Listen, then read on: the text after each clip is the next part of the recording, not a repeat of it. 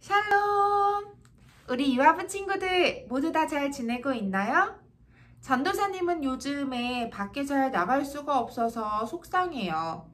그리고 무엇보다 매주 우리 친구들과 함께 예배 드릴 수가 없어서 너무 슬퍼요. 우리가 함께 교회에 모여서 예배 드릴 수는 없지만 우리가 어디에서든 마음을 다해 하나님께 예배 드릴 때 하나님께서는 그 예배를 기쁘게 받아주실 거예요. 오늘 우리 친구들이 집에서 엄마, 아빠와 함께 예배 드릴 때에도 즐겁게 찬양하고 예쁜 손 모아서 기도하고 집중해서 말씀을 듣도록 할게요. 오늘도 찬양함으로 하나님께 예배를 올려드리도록 하겠습니다.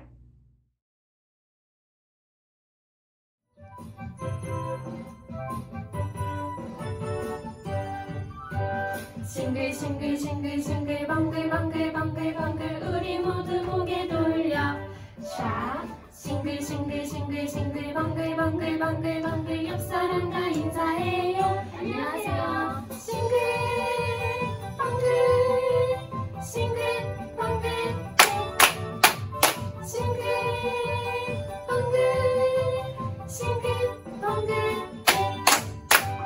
싱글 싱글 싱글 싱글 방글 방글 방글 방글 우리 모두 고개 돌려. 샤. 싱글 싱글 싱글 싱글 방글 방글 방글 방글 옆 사람과 인사해요. 안녕하세요. 싱글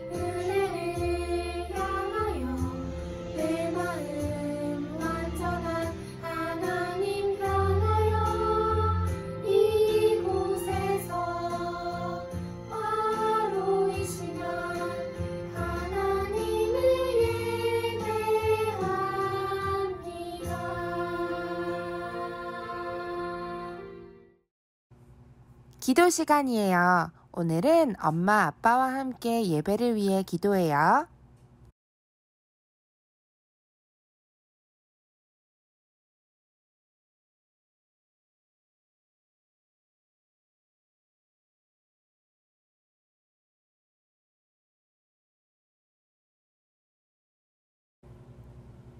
말씀 시간이에요. 오늘은 5천명을 배부르게 먹이신 예수님 이야기예요.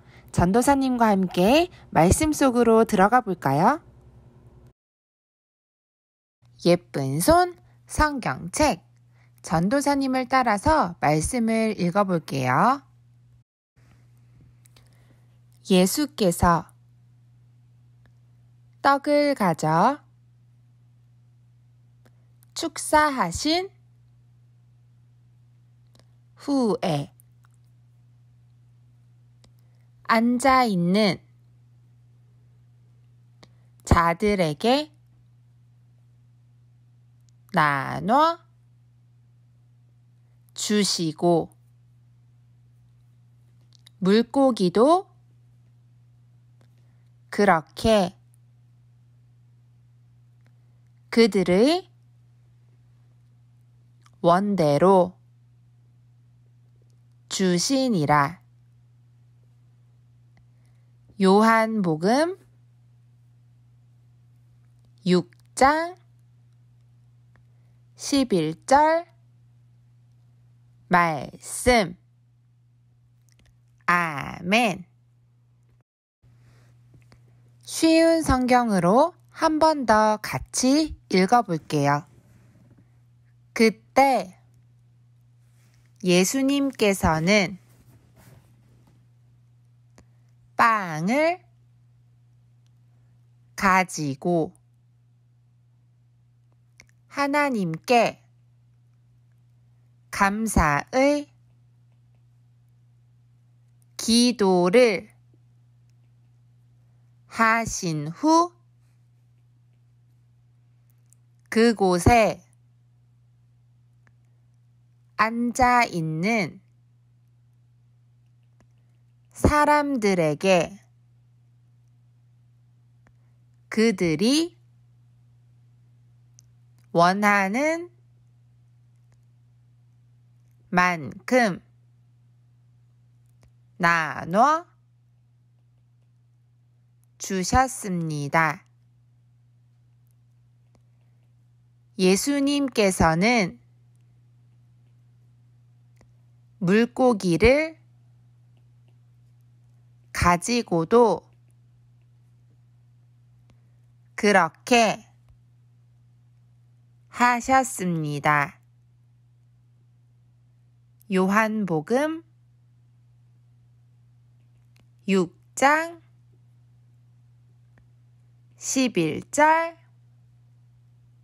말씀 아멘 와, 예수님이다!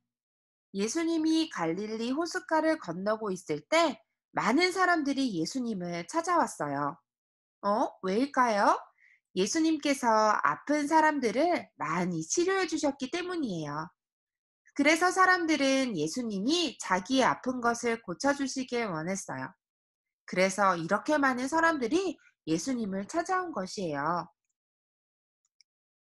이렇게 많은 사람들이 예수님을 따라갔대요. 예수님은 산으로 올라가셔서 예수님을 따라오는 많은 사람들을 바라보셨어요. 그리고 그 사람들이 배가 고플까봐 걱정하셨지요. 그래서 예수님의 제자 빌립에게 이렇게 물으셨어요. 빌립아, 우리가 어디에서 떡을 사서 이 많은 사람들을 먹일 수 있겠느냐? 어? 제자들도 궁금했어요. 빌립이 예수님께 대답했어요. 예수님, 어, 여기 있는 모든 사람들이 함께 돈을 모아서 떡을 사도 부족할 거예요. 그때였어요. 또 다른 제자 안드레가 예수님께 한 아이를 데리고 왔어요. 예수님, 예수님, 이 아이에게 떡 다섯 개와 물고기 두 마리가 있어요. 이 음식으로 어, 이 많은 사람들을 다 먹일 수 없겠지만요. 하면서 예수님께 도시락을 보여드렸어요. 예수님은 제자들에게 말씀하셨어요. 여기 모인 사람들을 자리에 앉게 해라. 예수님은 떡 다섯 개와 물고기 두 개가 든 도시락을 들어서 기도하셨어요. 그리고는 나누어 주셨지요. 어? 어떻게 나누어 주셨을까요? 아, 어, 너무 맛있어. 어, 나는 너무 많이 먹어서 배가 불러. 예수님은 사람들이 원하는 만큼 넉넉하게 음식을 나누어 주셨어요. 사람들은 맛있게 먹고 배가 불렀지요. 어? 그런데 이렇게 배부르게 먹었는데도 12바구니나 남았대요. 헉, 뭐라고요? 우리 같이 한번 바구니를 세어볼까요? 하나, 둘, 셋, 넷, 다섯, 여섯, 일곱, 여덟, 아홉, 열, 열하나, 열둘. 이렇게 배부르게 먹었는데도 열두 바구니나 남았대요. 이렇게 믿을 수 없는 일을 본 사람들은 깜짝 놀랐어요. 아니, 아까 분명히 물고기 다섯 개랑 떡 두 개? 아니지, 아니지. 떡 다섯 개랑 물고기 두 개. 그래! 떡 다섯 개랑 물고기 두 개였는데 어떻게 이렇게 우리가 배부르게 먹고 이렇게 많이 남을 수 있는 거지? 아, 예수님은 정말 정말 하나님이 보내신 사람이구나. 우리 친구들, 이전에 두 말씀이 기억나나요? 물을 포도주로 만드신 예수님. 말씀으로만 아주 아팠던 하인을 치료하셨던 예수님 말이에요. 우리 예수님은 기적의 하나님이세요. 예수님이 어떤 분이시지요? 십자가에서 우리 대신 벌을 받으셨지만 우리를 위해 다시 살아나신 예수님이에요. 예수님은 십자가의 죽음을 이기시고 다시 살아나신 분이세요. 우리 유아부 친구들, 지금은 코로나 바이러스 때문에 많은 사람들이 아파하고 또 무서워하고 있어요. 이럴 때 우리는 어떻게 해야 할까요? 우리는 모든 아픈 것과 약한 것을 이기시는 예수님을 믿으며 그 기적의 예수님의 이름으로 힘차게 기도하는 거예요. 우리 친구들, 이번 한 주 동안에 엄마, 아빠와 함께 예수님의 능력을 선포하며 힘있게 기도하는 유아부 친구들이 되기를 전도사님이 축복해요. 주기도문으로 오늘 예배를 마치겠습니다.